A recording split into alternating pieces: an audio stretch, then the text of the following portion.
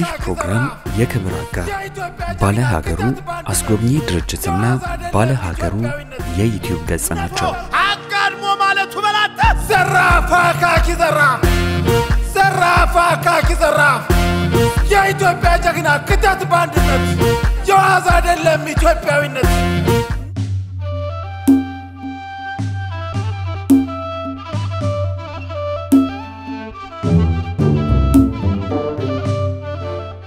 በስም አብ ወወልድ ወመንፈስ ቅዱስ አሃዱ አምላክ አሜን።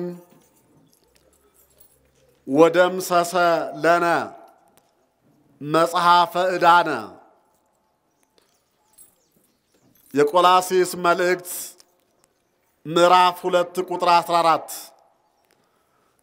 ክቡር አባታችን መልአከ ብርሃናት ቆሞስ አባ መዘምር አሰግደው የደብረ ብርሃን ቅድስት ሥላሴና በእቅፉ የሚገኙ አብያተ ክርስቲያናት አስተዳዳሪ ክብርት እህታችን ወይዘሮ ትዕግስት መኳንንቴ የሰሜን ሸዋ ዞን ባህልና ቱሪዝም መምሪያ ኃላፊ፣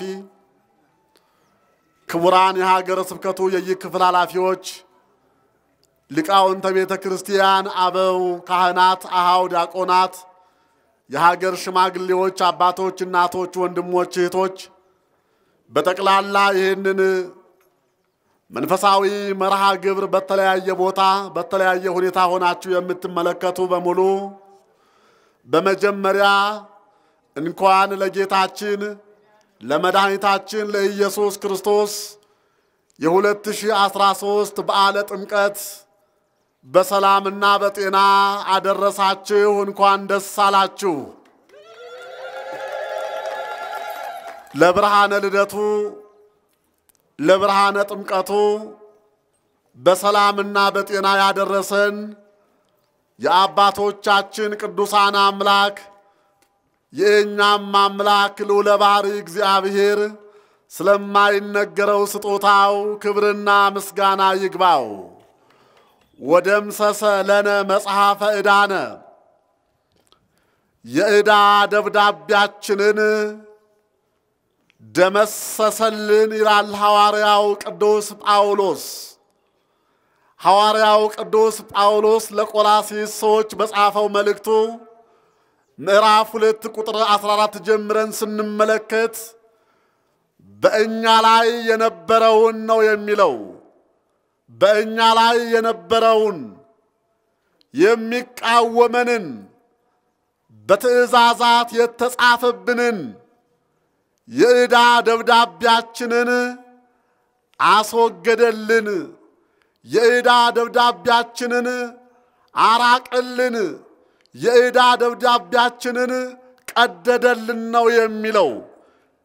እንግዲህ መጽሐፍ ቅዱስ እንደሚነግረን ታሪክም እንደሚያስተምረን ዓለም ለአምስት ሺህ አምስት መቶ ዘመን በባርነትና በስቃይ ትኖር እንደነበረ ሕዝቦቿ ምንም እንኳን እንደነ አብርሃም እንደነ ይስሐቅ እንደነ ያዕቆብ እንደ ነቢያት እንደ ቅዱሳን እንደነ ቅዱስ ዳዊት ያሉ ደጋግ ሰዎች ቢገኙም እንኳን ነገር ግን በአዳምና በልጆቹ ላይ ከተፈረደው ፍርድ አኳያ ሁሉም ወደ ሲኦል ይወርዱ እንደነበረ በግዞት ይኖሩ እንደነበረ ታሪክ ይነግረናል።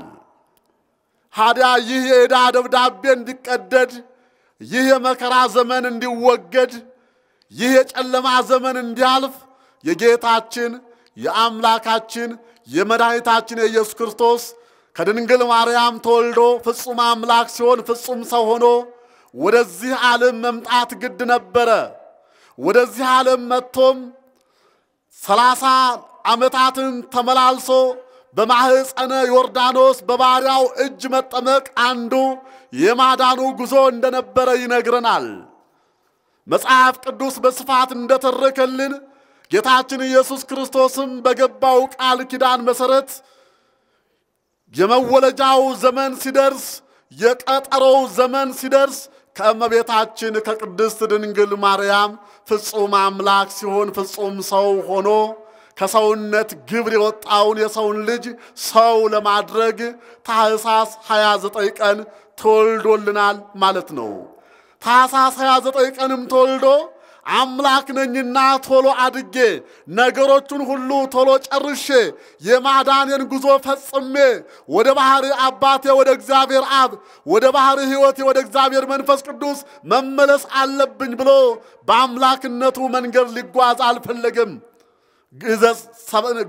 የሰውን ጸባይ ሳያጓድል ግዘ ሕፃናትን ሳያፈርስ በየጥቂቱ ለእናትና ለአባቱ አባቱ የሚለው ላሳደገው ለዮሴፍ እንጂ የባሕሪ አባቱ እግዚአብሔር አብ ነው።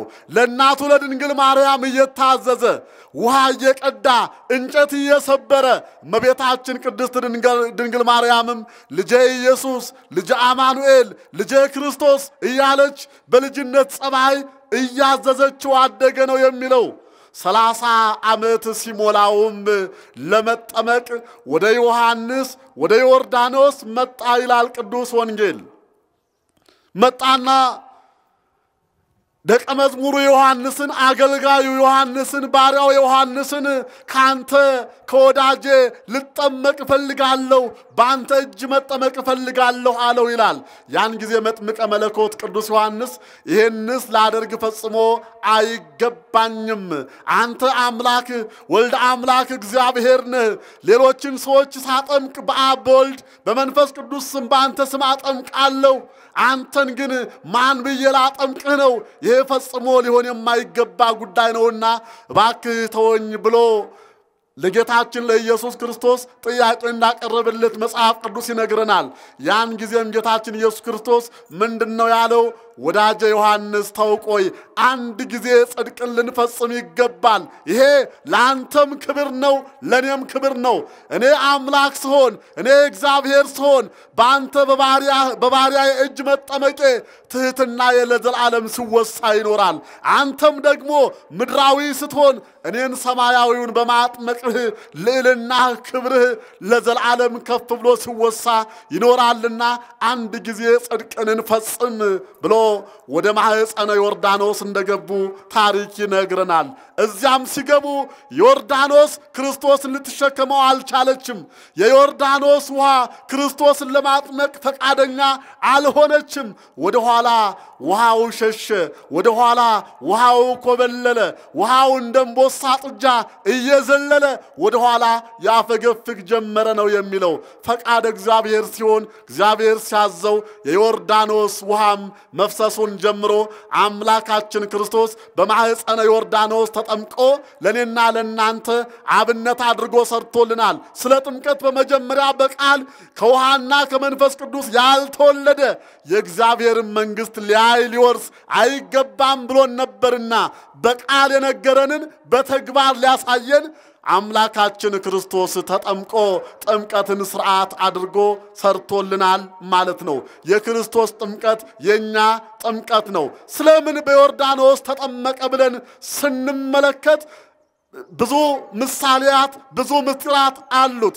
አንደኛ የዕዳ ደብዳቤያችንን ጥንተ ጠላታችን ዲያብሎስ በዮርዳኖስ ወንዝ ቀብሮት ነበርና በዮርዳኖስ ወንዝ ሲጠመቅ እንደ አምላክነቱ አቅልጦ እንደ ሰውነቱ ረግጦ ሊያጠፋልን በማኅፀነ ዮርዳኖስ ተጠምቋል። ሲጠመቅም ያ የዕዳ ደብዳቤያችን ተደምሶ ጠፍቶልናል። ለዚህ ነው የዕዳ ደብዳቤያችንን አስወገደልን፣ ቀደደልን፣ አጠፋልን ያለው ቅዱስ ጳውሎስ አንደኛውንም በገነት በሲኦል የቀበረውን ጌታችን ኢየሱስ ክርስቶስ በዕለተ ዓርብ ወደ ሲኦል ወርዶ ያንን የዕዳ ደብዳቤ ቀዶ ሁላችንንም ነፃ እንዳወጣን መጽሐፍት ይነግሩናል። የእግዚአብሔር ቤተሰቦች ሌላው በዮርዳኖስ እንዲጠመቅ ትንቢት ተነግሮ ነበረ። ትንቢቱ ይፈጸም ዘንድ ትንቢቱ እውን ይሆን ዘንድ ፍጻሜ ያገኝ ዘንድ መድኃኒታችን ጌታችን ኢየሱስ ክርስቶስ በዮርዳኖስ ተጠምቆልናል ማለት ነው። በሌላም መንገድ ሊቃውንቱ ለምን በውሃ ተጠመቀ? በማር በወተት መጠመቅ ይችል አልነበረምን? ጌታ እግዚአብሔር አይደለምን? ሁሉ በእጁ ሁሉ በደጁ የሞላለት ሲሆን ለምን በውሃ ተጠመቀ ብለው መጽሐፍት ይጠይቃሉ፣ ይመራመራሉ።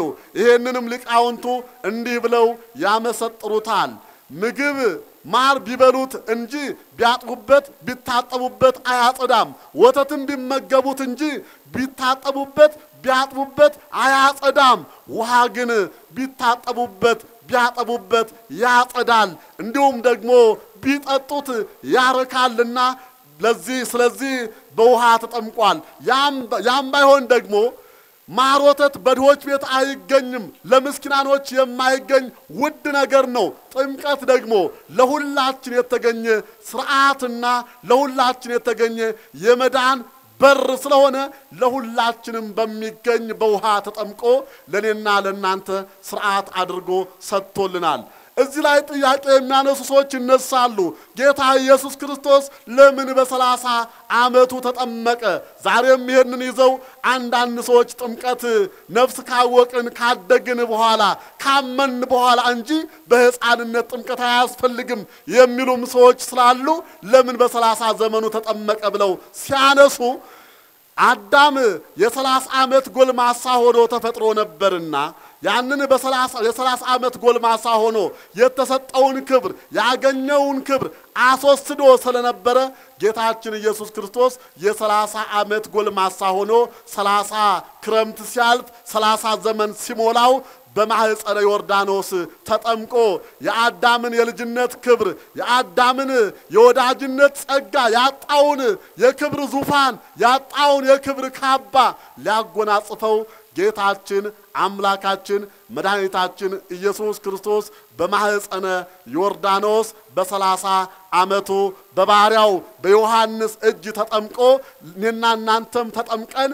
መንግሥቱን እንድንወርስ የእግዚአብሔር ልጆች እንድንባል ይህንን ማንም የማይሰጠውን ውድና ዘለዓለማዊ ስጦታ ጌታችን ኢየሱስ ክርስቶስ ሰጥቶናልና ክብርና ምስጋና ለስም አጠራሩ ይሁን።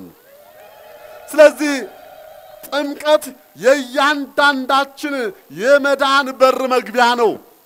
በጥምቀት በር በኩል ያልገቡ የእግዚአብሔር ልጆች ተብለው ሊጠሩ መንግሥቱንም ሊወርሱ እንደማይችሉ መጽሐፍ ቅዱስ አጽንቶ አጉልቶ አጥብቆ ይነግረናል። እርሱም መድኃኒታችን ኢየሱስ ክርስቶስ ያስተምር በነበረበት ሰዓት ለደቀ መዛሙርቱ መመሪያ ሲሰጣቸው ይህን ቃል ነው የነገራቸው። ወደ አሕዛብ መንደር ሂዱ፣ ወደ ዓለም ሂዱ፣ እያስተማራችሁ እየመከራችሁ በአብ በወልድ በመንፈስ ቅዱስ በስላሴነቴ እያጠመቃችሁ ደቀ መዛሙርቴ አድርጓቸው ነው ያለው። በማኅፀነ ዮርዳኖስም የተገለጠው አንዱና ድንቅ ምስጢር የስላሴ አንድነትና ሶስትነት ነው። ጌታችን ኢየሱስ ክርስቶስ ማኅፀነ ዮርዳኖስ ሲገባ እግዚአብሔር አብ የባሕሪ አባቱ በደመና ሆኖ ዝንቱ ውእቱ ወልድየ ስምዎ ወለቱ ስምዎ ይሄ የምወደው ለተዋህዶ የመረጥኩት ልጄ ነው እርሱን ስሙት ብሎ አብ በአብነቱ በወልድ ቃልነት ተናግሯል። እግዚአብሔር መንፈስ ቅዱስ የባሕር ሕይወቱም በርግብ አምሳል መጥቶ በጌታችን በኢየሱስ ክርስቶስ ራስ ላይ አርፎ ሥላሴነቱን እርሱም ደግሞ በማኅፀነ ዮርዳኖስ በለበሰው ሥጋን አካል ሲጠመቅ የሥላሴ አንድነት ሦስትነት ተገልጧል ማለት ነው። በጥቅሉ ምስጢረ ሥላሴ በተረዳ በጎላ መልኩ በማኅፀነ ዮርዳኖስ ታይቷል፣ ወጥቷል። እኛም ደግሞ የሥላሴን አንድነትና ሦስትነት እንዲሁም የጥምቀትን አዳኝነት የክርስትና በር መሆኑን ተምረናል፣ አውቀናል ማለት ነው። አሁንም ይሄንን በዓል እያከበርን እዚህ ደርሰናል። ወደፊትም ይኸው በዓል ይቀጥላል። በዓላችንን ልዩ የሚያደርገው አሁን ከቅርብ ጊዜ ወዲህ ደግሞ እስከ ዛሬ ድረስ በሀገር ደረጃ ብቻ ሲከበር የኖረ መሆኑ ይታወቃል። አሁን ግን በዓለም የቅርሳ ቅርስ መዝገብ ተመዝግቦ ዓለም በአንድ ሳምባ፣ ዓለም በአንድ ልብ፣ ዓለም በአንድ እስትንፋስ ሁሉም እያከበረው በመሆኑ ይሄ ለእናት ቤተ ክርስቲያናችን፣ ይሄ ለኢትዮጵያ ሀገራችን፣ ይሄ ለሃይማኖታችን እጅግ ድንቅና አኩሪ ታሪክ በመሆኑ በዚህ አጋጣሚ እንኳን ደስ አላችሁ ማለት እወዳለሁኝ። እንግዲህ የጥምቀቱን በዓል ስናክብር ጥምቀቱ ክብራችን፣ ጥምቀቱ ሕይወታችን፣ ጥምቀቱ ቤዛችን፣ ጥምቀቱ ሰላማችን መሆኑን በመገንዘብ ለሀገራችን ለኢትዮጵያ ሰላም አምላካችን እግዚአብሔር እንዲሰጣት እኛ ሕዝቦቿ እኛ ልጆቿ ከመለያየት ከመጠላላት ከመገፋፋት መንፈስ ወጥተን በአንድ በኢትዮጵያዊነት መንፈስ በኦርቶዶክሳዊነት መንፈስ አባቶቻችን ኢትዮጵያውያን ባስረከቡን ባቆዩን ታሪክና ወግ መሰረት በዓላችንን ማክበር ለሕዝባችን ፍቅር፣ አንድነት፣ ሰላም ማግኘት መጸለይና የታመሙ ወገኖቻችን እንዲፈወሱ፣ የተጨነቁ ወገኖቻችን እንዲያርፉ፣ የተራቡ እንዲጠግቡ፣ የተጠሙ ጠጥተው እንዲረኩ ሁሉም የሰላምን ዋጋ ከዋጋ ከግንዛቤ በማስገባት በሰላምና በፍቅር ተባብረን ተዋደን መኖር እንድንችል ከሁላችንም ይጠበቃል ማለት ነው።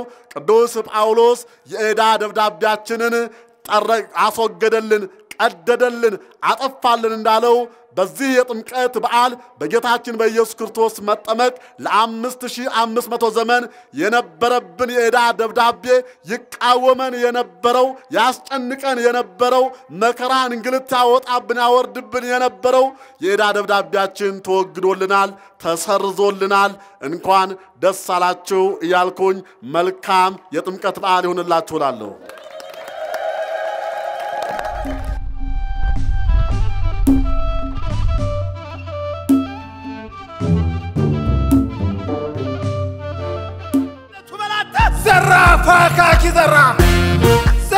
የዚህ ፕሮግራም የክብር አጋር ባለ ሀገሩ አስጎብኚ ድርጅትና ባለ ሀገሩ የዩቲዩብ ገጽ ናቸው።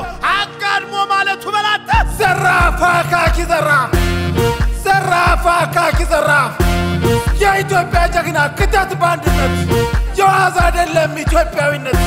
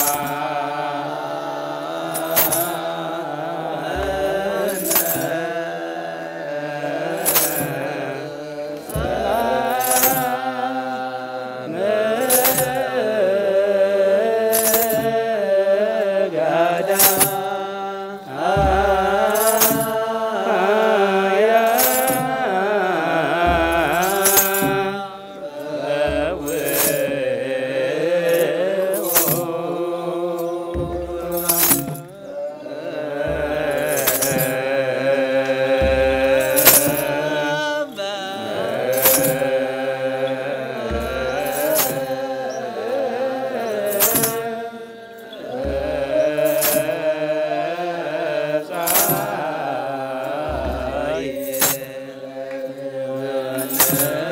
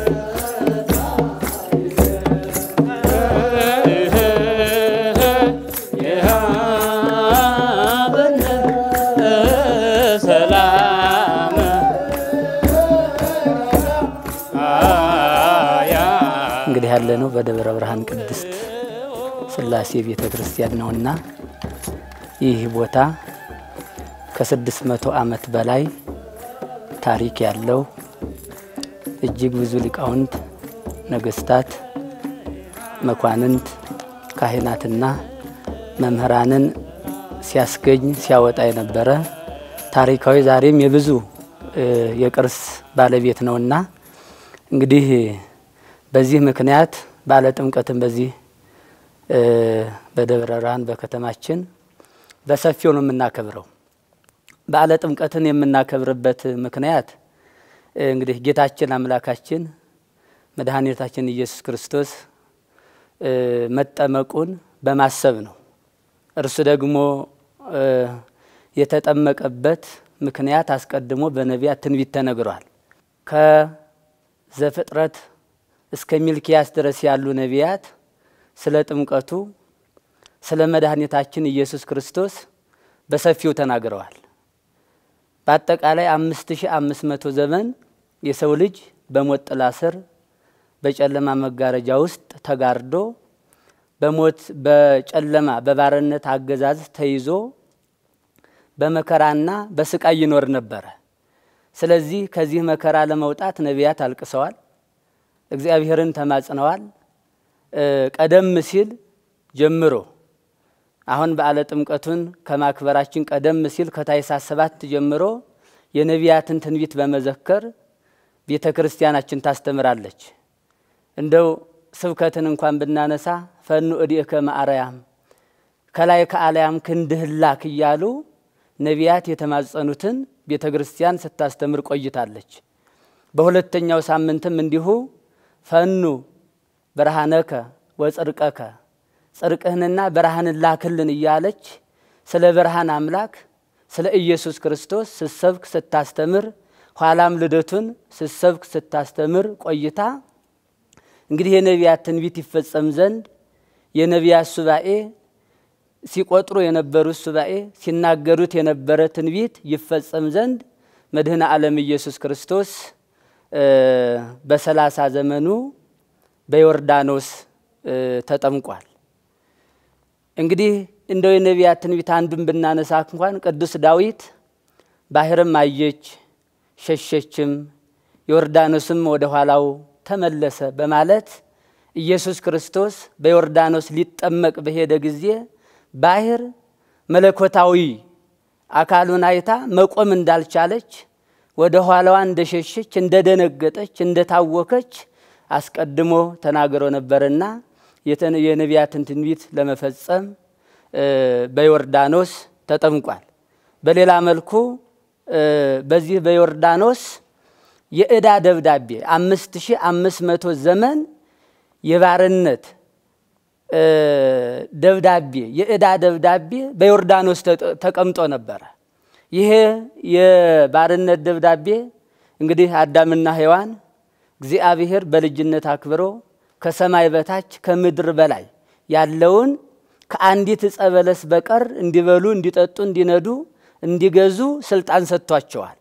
ታዲያ በዚህ በገነት እንዲኖሩ በልጅነት አክብሮ ገነት ካስገባቸው በኋላ አንዱን ብሉ፣ አንዱን ደግሞ አትብሉ፣ ሌላውን ደግሞ ብሉም አትብሉም ሳይላቸው ይህንን ትእዛዝ ሰጥቷቸው ስለነበረ እንግዲህ ብሎ ያላቸውን መብላት ትተው አትብሎ የተባሉትን በመብላታቸው ባህሪያቸው ቆስቁሎ በዕዳ ተይዘው በሞት አገዛዝ በጨለማ መጋረጃ ውስጥ ተጥለው የደጋጉ ነቢያት ጸሎት ሳይቀር ነቢዩ ኢሳይያስ ጽድቃችን የመርገም ጨርቅ ሆነ በማለት በትንቢቱ ላይ ይናገራልና ያ የዕዳ ደብዳቤ በዮርዳኖስ ስለነበረ በዮርዳኖስ ሲጠመቅ እንግዲህ እንደ አምላክነቱ አቅልጦ እንደ ሰውነቱ ረግጦ ያንን የዕዳ ደብዳቤያችንን ይቀድልን ዘንድ ያጠፋልን ዘንድ ያንን የሞት መጋረጃ ይሽርልን ዘንድ በሰላሳ ዘመኑ ወይንም በዮርዳኖስ ተጠምቋል።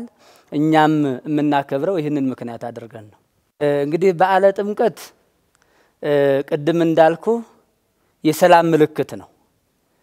ለአምስት ሺህ አምስት መቶ ዘመን ሰላም ያጡ ሰዎች ሰላማቸው የተረጋገጠበት፣ አንድነት ያጡ ሰዎች አንድነታቸው የታወጀበት፣ ፍቅር ያልነበራቸው ሰዎች ፍቅር የታወጀበት ታላቅ በዓል ነው።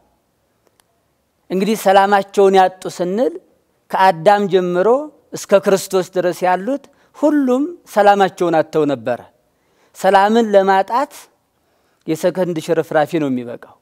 ሰላምን ለመመለስ ደግሞ እጅግ ብዙ ዓመታትን ነው የሚያስቆጥረው።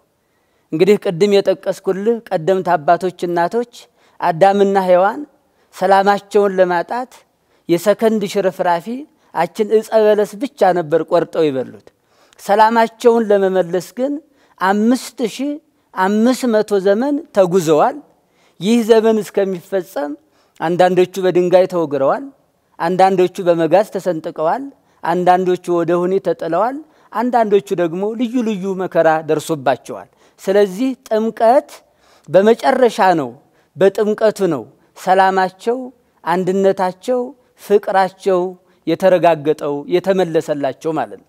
ስለዚህ ይህንን በዓሉን ስናከብር ስናከብር እጅግ ብዙ ምእመናን ናቸው በዚህ በዓል ላይ የሚወጡ አብሶ ወጣቶች በሰንበት ትምህርት ቤት አካባቢ እንዲሁም በዓለ ጥምቀቱን ምክንያት በማድረግ ምንጣፍ በማንጠፍ ቀኑን ሙሉ ከዋዜማው ጀምሮ የሚወጡ የሚሰለፉ የሚደክሙ ብዙ ወጣቶች አሉ። የእነዚህ የወጣቶች አገልግሎት እንደ ቤተ ክርስቲያን መልካም ቢሆንም ፍቅር ከሌለው፣ አንድነት ከሌለው፣ የእርስ በርስ መደጋገፍ ከሌለው ከንቱ እንዳይሆን ይህንን በዓል ስናከብር ሰላምን፣ ፍቅርን፣ አንድነትን እያሰብን ብናከብር ነው። ይህም የሚሆንበት አሁን ያለንበት ሁኔታ እንደምታውቀው እርስ በርስ የተለያየንበት፣ እርስ በርስ እየተጓሰብን ያለንበት፣ እርስ በርስ እየተጋፋፋን ያለንበት፣ ብሎም ደግሞ ለእኛ ለኢትዮጵያ ኦርቶዶክስ ቤተ ክርስቲያን የመከራ ዘመን እስከሚመስል ድረስ መከራ የጸናበት ነው። ኦርቶዶክሳዊነቱ ታይቶ ክርስቲያንነቱ ታይቶ መከራ የሚቀበልበት የመከራ ዘመን ነው። እርግጥ ክርስትና ከመጀመሪያው ጀምሮ ከመከራ ውስጥ ወጥቶ ያውቅም፣ በመከራ ውስጥ ነው ያለፈው። ኢሳይያስን፣ እነ ኤርምያስን፣ እነ ዳንኤልን አዲስ ኪዳን ላይ ስንመጣም ቅዱሳን ሐዋርያትን ብንመለከት ሁሉም በመከራ ውስጥ ያለፉ በጅራፍ የተገረፉ በድንጋይ የተወገሩ ወደ እሳት የተጣሉ ወደ ውህኔ የተወረወሩ በረሃ ለበረሃ የተንከራተቱ ቅዱሳን አባቶቻችንን ነው የምናስበውና በዚያ ውስጥ ነው። ግን አሁን ያለንበት ዘመን እንደምታውቀው የነጻነት ዘመን ብለን ግን ነጻነት የጠፋበት ነውና እኔ እንግዲህ መላው ኦርቶዶክሳውያን ይህንን በዓል ሲያከብሩ ስናከብር በሰላም በፍቅር በትህትና ሆነን ብናከብር ነው የምለው። በዓለ ጥምቀት የትህትና በዓል ነው። ቅዱሳን ሐዋርያት ጥምቀትን የተጠመቁበትን ቀን ስናስብ መድኃኒታችን ኢየሱስ ክርስቶስ እግራቸውን አጥቦ ነው ዝቅ ብሎ ማለት ነው። ስለዚህ ይህ በዓል የትህትና በዓል ነው። ይህ በዓል የሰላም በዓል ነው። ይህ በዓል የሞት መጋረጃ የተቀደደበት ሞት የተወገደበት በዓል ነውና እንግዲህ በዓለማችን በኢትዮጵያ ያለውን የሞት ጥላ ከሀገራችን ያስወግድልን ነው የምለው።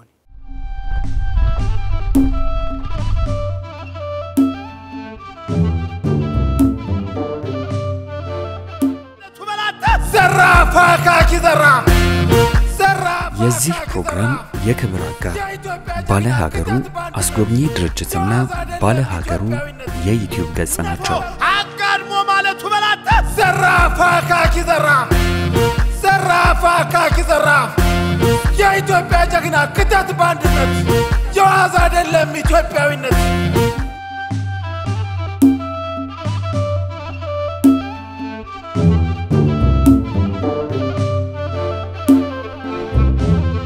ከዚህ በመቀጠል ሌሎች መርሃ ግብሮች ይኖሩናል። እንግዲህ የቅዳሴው፣ የሐዲሳቱ፣ የቅኔው የሁሉ መምህርና አባት የዚህ ታላቅ ገዳምና በስሩ ያሉት አብያተ ክርስቲያናት አስተዳዳሪ ቆሞስ ሊቀ ብርሃናት አባ መዘምር ቃለ ምዕዳን ቡራኪ ያደርጉልናል። አቤቱ አምላካችን ሆይ ጉባኤያችንን ባርከ ቀድሰ አስጀምረ ስላስፈጸምከን ቅዱስ ፈቃድ ይሆንልን። እኛም ደግሞ በተማርነው ትምህርት ሰላሳ ስሳ መቶ አፍርተን መንግስቱን እንድንወርስ ቅዱስ ፈቃዱ ይሆንልን። ላስተማሩን ለመምህሮቻችን ሁሉ ቃለ ሕይወት ያሰማልን። የአገልግሎት ዘመናቸውን ይባርክልን። በዓሉን የሰላም የበረከት በዓል አድርጎ ይባርክልን። ሀገራችን ኢትዮጵያን ከጥፋት ሕዝቦቿን ልጆቿን ከስደት ከመከራ ከረሃብ ከበሽታ ይጠብቅልን።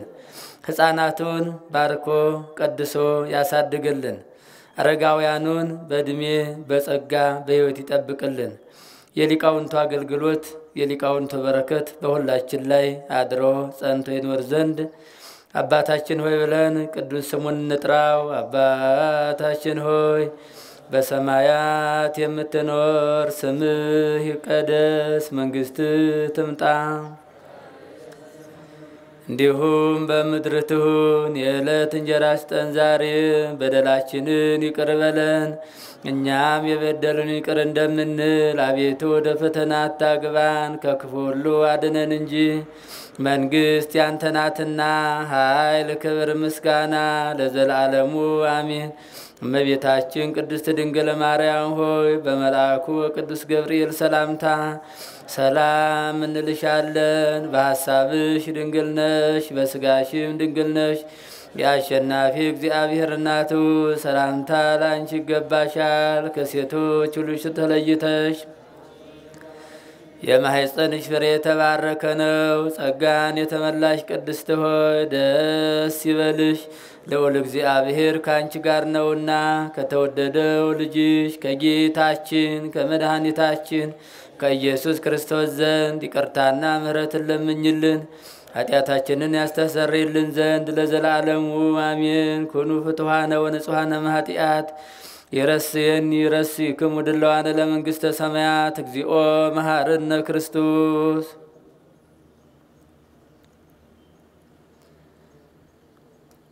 ከማሁ በእንተ እግዝእትነ ማርያም መሐረነ ክርስቶስ።